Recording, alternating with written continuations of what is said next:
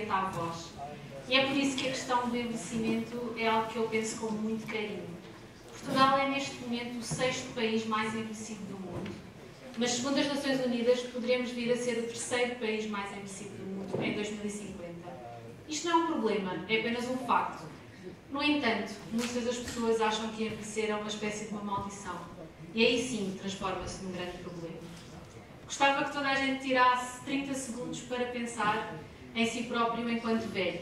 Pensem em vocês com 80, 90 ou mesmo 100 anos. Imaginem-se. Para muitos é difícil imaginar.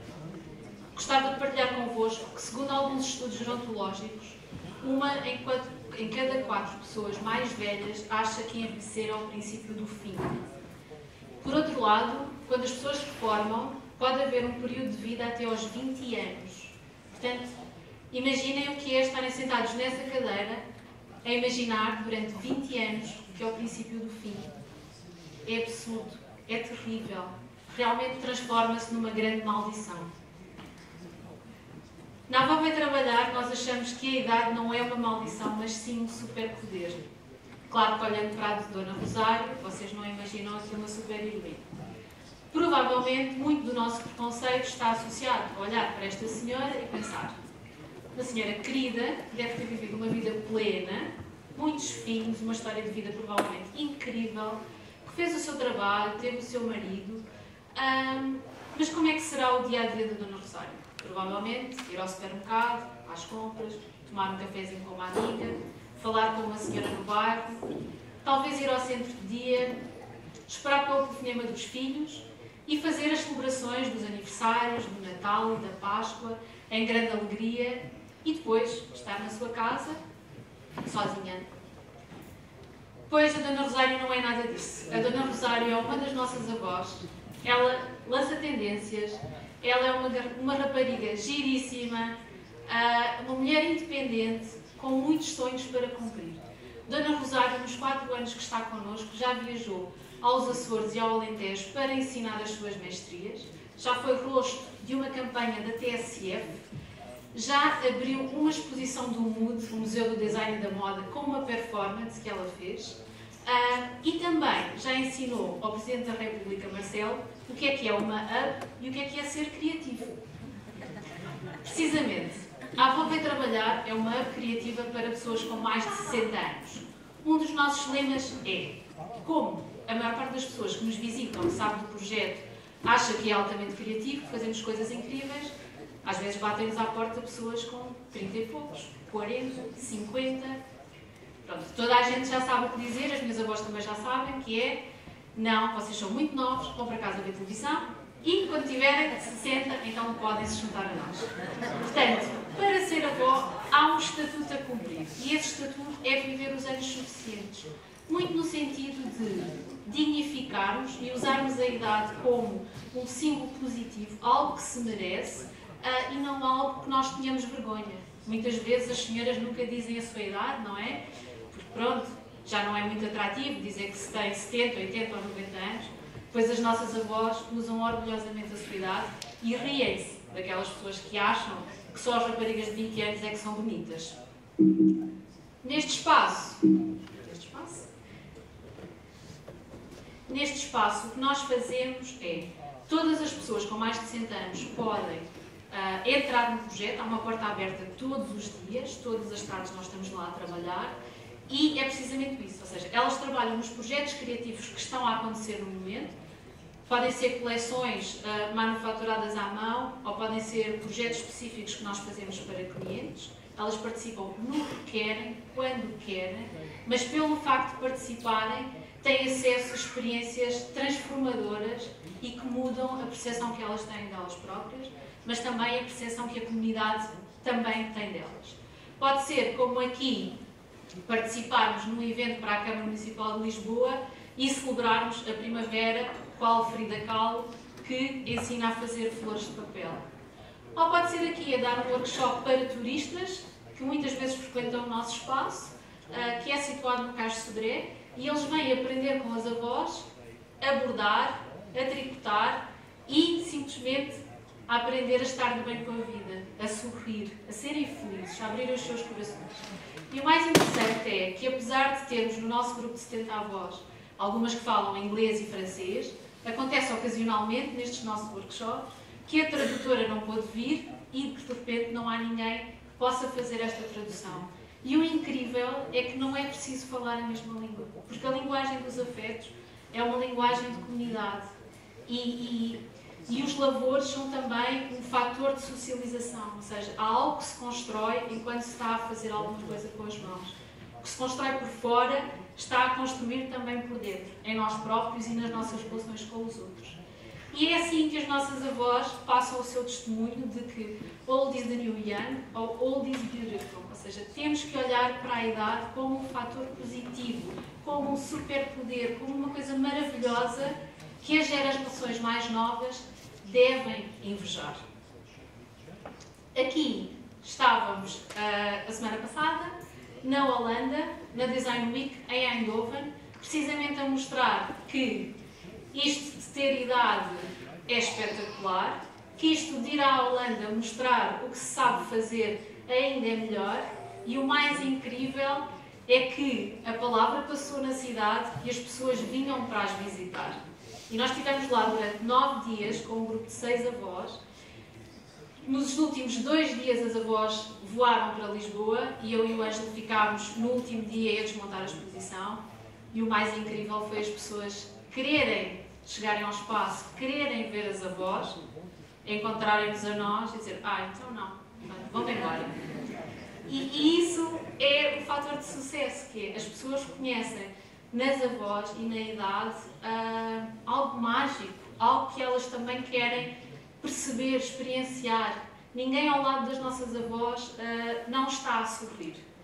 Nós construímos todo o tipo de coisa. Tudo o que nós deitamos a mão, nós criamos e fazemos e vendemos porque o nosso modelo é um modelo de negócio social. Sejam eles produtos tricotados, trabalhados em tiar, sejam eles serigrafias, há um processo de cocriação que é feito com as avós que é muito importante, ou seja, de nos mostrar quais são as tendências dos objetos que estão agora a ser vendidos, quais são as tonalidades, quais são os materiais, o que é que nós podemos fazer de diferente. Muitas vezes elas trazem objetos das suas casas, que fizeram quando eram mais novas, com técnicas antigas e todos em conjunto desenhamos novas coisas, novas coisas que possam surpreender. Este exemplo é muito interessante. A Dona Júlia, estávamos a fazer a nossa segunda coleção de objetos, decidimos fazer almofadas trabalhadas em tiar e eu pedi que elas confiassem em mim para fazermos franjas. E a Dona Júlia achou que as franjas eram uma coisa horrível. Então, todos os dias ela me fazia saber que fazer franjas era horrível e que aquele trabalho que ela estava a fazer durante um mês não ia servir para nada. E eu, tentando incentivá-la, quase em todas as sessões, dizia: Ah, isto está a ficar maravilhoso, olha, isto está a ficar maravilhoso. E ela dizia: Maravilhoso, está horrível. O que é que acontece? Quando ela teve a disponibilidade de fazer o tiar até ao fim, ou seja, ela ficou na dúvida, mas disse: Vou acreditar na Susana e vou fazer isto até ao fim. Quando a almofada foi montada, quando foi feita a exposição, foi uma das primeiras almofadas a ser vendidas. E ela veio ter comigo e disse: Pronto, menina Susana, afinal você tinha razão. Eu às vezes tenho que lhe dar ouvidos. E este é um processo também muito interessante, que é tirar as avós da sua zona de conforto. Ou seja, no nosso espaço, nós não estamos a construir as coisas para nós próprios, estamos a construir para um tipo de cliente. E muitas das coisas que elas estão a fazer são também inovadoras, elas nunca fizeram e nunca experimentaram. E há este risco de fazer uma coisa nova e não correr bem, mas é importante aceitar este risco. Este desafio bastante divertido foi uma série de flores de papel feitas em cartolina para um evento em Cannes que um decorador português precisava para fazer uma festa. Não havia ninguém que quisesse fazer o raio das flores. Nós não sabíamos fazer as flores, mas como precisamos de financiamento para o projeto, vamos fazer as flores. Fomos aprender na internet, fizemos alguns testes e a verdade é que as flores ficaram prontas, ficaram maravilhosas. Nós aprendemos uma técnica nova que não sabíamos uh, e hoje em dia já podemos dizer que fazemos flores de papel. Este exemplo que eu vos trago aqui é, é muito querido para mim porque nós fomos desafiados para fazer um merchandising de um festival de música português que é o Bons Sons, em 100 Soldos. Portanto, há dois anos atrás recebemos este desafio e qual kamikazes, como somos sempre, dissemos, bora lá. Durante seis meses fomos uma vez por mês a esta aldeia e eu levava comigo algumas avós para desenharmos os, os, objetos e tentarmos perceber o que é que poderíamos criar juntamente com a população. Voltávamos, no mês seguinte fazíamos controle de qualidade, desenvolvíamos um novo objeto e assim em seguida, durante seis meses. No final do do, de todo este trabalho, que é que nós decidimos? Bom, como na avó vai trabalhar, nós trabalhamos para nos divertirmos, portanto, para termos acesso a estas experiências transformadoras, todas as avós que fizeram parte deste processo têm direito de viver o festival durante três dias.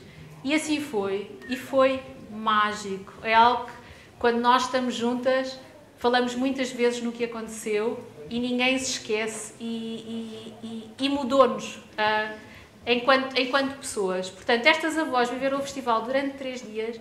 Eu não me lembro de ninguém que estivesse ao pé delas sem estar a sorrir, iluminado, cheio de alegria. E, e de repente estas mulheres não eram velhinhas, eram apenas raparigas a divertirem-se no festival. Há aqui uma delas, que eu não vou dizer quem é, que na altura tinha 80 anos, Uh, e não foi por isso que elas não estavam na linha da frente à uma da manhã no concerto das da Chic a saltar.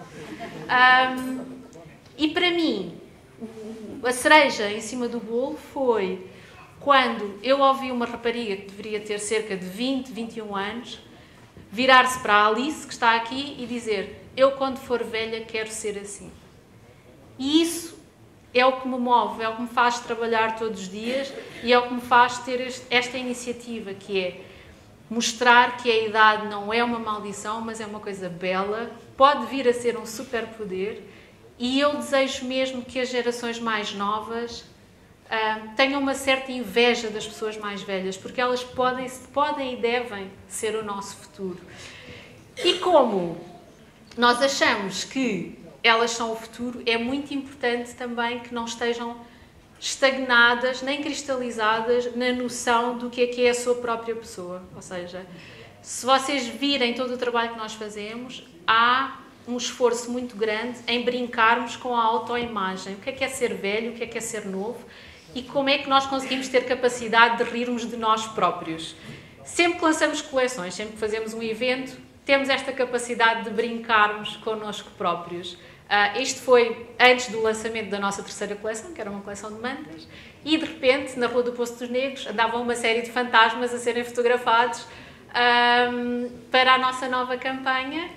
E muitas das pessoas que são os nossos vizinhos, que estão no café, que estão no supermercado e que nos conhecem, riram-se, alguns criticaram, outras avós ouviram assim umas coisas por trás das costas que não deveriam ter feito aquilo, porque pronto, parecem umas tontas. Mas é muito importante abanarmos estas cabeças todas. E as pessoas que acham que nós somos tontas, de certa maneira, vão começar a ter um bocadinho de inveja, porque esta tontice leva-as a fazer coisas grandiosas. Como esta. Isto foi uma peça que nós fizemos em parceria com uma artista brasileira, a Mana Bernardes, para o MUD, o Museu do Design e da Moda. Portanto, uma peça comissionada para uma exposição que se chamava tanto mar, em que se trabalhava a relação que o design brasileiro e o design português fazem e se contaminam um ao outro. A Mana veio fazer uma residência connosco durante três meses. Um, não sabíamos o que ia sair dali. Acabou por sair uma espiral de linho de 4 metros por 4, totalmente bordada à mão, porque a Mana trabalha muito a questão da palavra, portanto, ela criou poesias à volta da história destas mulheres. Algumas lágrimas foram derramadas, porque bordar 4 metros por 4 durante dois meses uh, é difícil, nós tivemos medo de não conseguir, mas o, este, este, sair da zona de conforto, este um, obrigarmos-nos a ter, de certa maneira, medo se vamos conseguir, também é isso que nos faz crescer enquanto pessoas.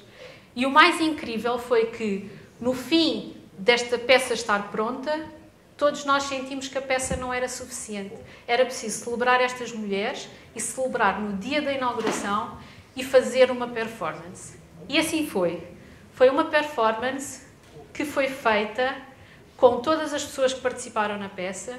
Tínhamos estes roupões, havia música ao vivo, Cada uma destas mulheres teve um ou dois minutos para poderem estar presentes, falar da sua alma e exigir os olhares de todas as pessoas para elas, portanto, celebrando-as enquanto cidadãs uh, e não enquanto velhinhas uh, que estão no museu. Uh, não, elas estão aqui, estão vivas, têm muito para crescer e têm muito para dar.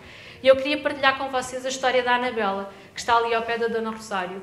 A Anabela, uns meses depois, uh, veio ter comigo e estávamos a ter uma conversa, como temos muitas enquanto trabalhamos, acerca de beber um copo de vinho ou não, ao almoço ou ao jantar. Que faz bem e dá vida, segundo o que elas dizem. Mas a Anabela disse-me: Olha, eu queria te contar que no dia em que nós fizemos a performance, eu estava tão cheia, tão alegre, tão feliz comigo própria, quando eu cheguei a casa, eu tenho sempre uma garrafa de espumante no meu frigorífico, para os anos do meu neto e para os anos da minha filha, e eu sentei-me e eu bebi a garrafa até ao fim, porque eu precisava de me celebrar. E a Anabela está ali emocionada a ouvir a história. E é isto.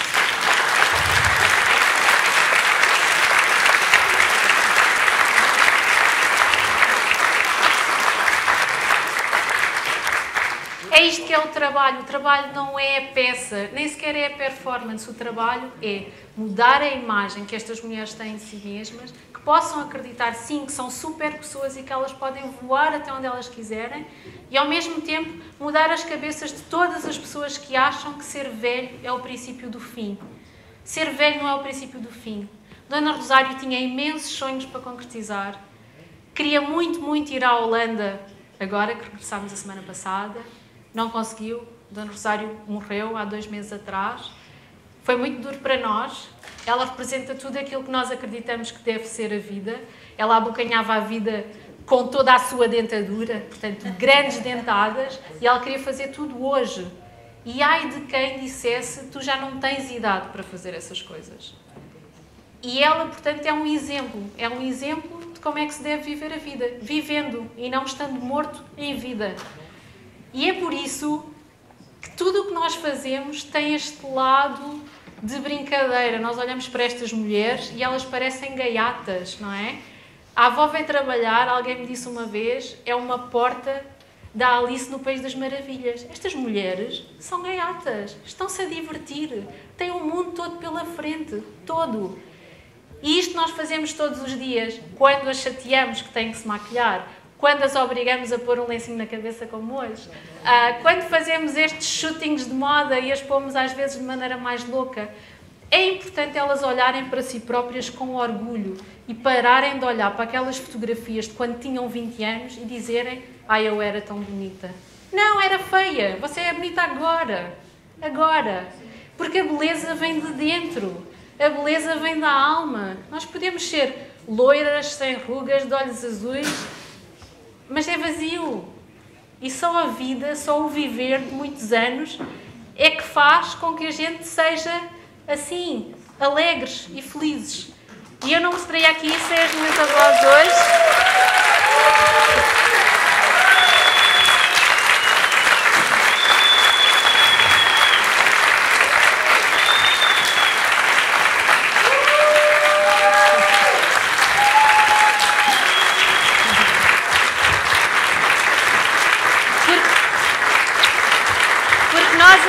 Acreditamos que as mulheres com história são as mais interessantes e que as rugas são apenas patinho e que acrescentam coisas. E se vocês, eu deixava-vos agora aqui um desafio que era hoje liguem aos vossos pais, aos vossos avós, às vossas tias. Quem não tiver, fale com o velhote amanhã, mas pensem que eles são o futuro e não o passado. Não sejam condescendentes. Eles são o nosso futuro. E, e, temos todos de parar de pôr os nossos velhos à margem da vida. É preciso investir. Por favor, invistam nas pessoas mais velhas. E vamos vos deixar com um vídeo do Bons Sons, porque acho que vale por mil palavras. Obrigada.